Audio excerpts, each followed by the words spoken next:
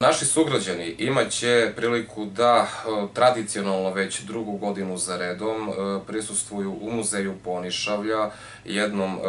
divnom koncertu koji okuplja decu muzičko-obrazovnog centra Klemenović. Inače, ta deca dolaze kod mene na nastavu, učenje i tako dalje, koja su muzički obrazovana i znači svoj talenat žele da ispolje na nekom završnoj priredbi, odnosno koncertu. A, tak, takođe ove godine, uz pomoć opštine Pirot, dobili smo neka sredstva gde smo upošljeni i ostvarili saradnju sa vrtićima iz naše opštine, tačnije govoreći to su četiri grupe, to je otprilike oko 70-80 deteta, Dakle, veliki broj dece sa kojima svakodnevno skoro radimo i pripremamo se, znači to je neki najmlađi uzrast sa kojima radimo i pripremamo taj neki nastup, počev od tog nekog nižeg nivoa. Potom imamo decu e, muzičke škole, inače koja idu u muzičku školu u mojoj učionici, odnosno u mojoj školi, državno polažu, da, državno polažu ispite u Niškoj školi, tako da imaju i državni status, odnosno dobaju i đačke knjižice, ali znanje koje nesebično njima dajem prikupljaju u mojoj školi. Tako da će i ona da se predstave svojim nekim nastupom, kao i nekim klasičnim delima koja izvode u školi. Potom imam horske izvođače kao i orkestar, to su opet ta deca koja će e, se predstaviti tradicionalnom muzikom, našom srpskom, kao i, da kažem, pesama Pirotskog, Dimitrovkarskog okruga i tako dalje. Da napomenem i specijalni gost bit će moj dobar prijatelj e, i školski drug Vladimir Stojanović,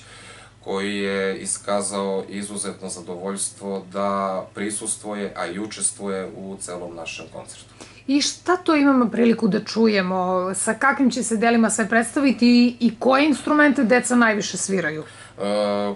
konkretno, deca najviše klavir sviraju, međutim, bit će tu i violina, bit će i frula, bit će i usna harmonika, bit će i gitara, naravno. E, što se tiče ovih najmanjih, e, to je predškolski uzrast, oni će se predstaviti e, pesmicama koje, je, koje su nekog tipa žanra njihovog uzrasta. E, muzička škola, odnosno ova srednja grupa, ona će se predstaviti opet nekom tradicionalnom muzikom, a što se tiče starije grupe, tu smo malo zahvatili neki pop žar, bit će i ona tradicionalna i tako dalje. Imaćemo dosta kvalitetnog programa, da napomenem e, saradnju sa edukativnim centrom Akcent, e, iza koje stoji Marija Igić, njena deca će učestvovati u recitalu na engleskom jeziku, gde će eto, doprineti neki, da kažem, e,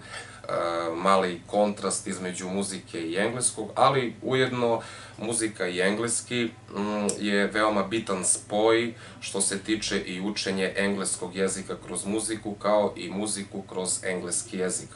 Ujedno, e, mi smo jedinstveni po tome što imamo u našem statutu, recimo u udruženju, tu stavku koja se odnosi na muzičko englesko zabavište i stvarno se ponosimo time jer u Srbiji takav e, vid e,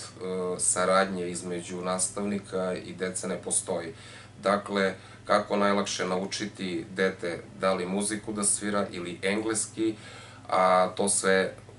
jer imamo taj posebni program koji eh, je veoma delotvoran za naše najmlađe sugrađane koji posećuju.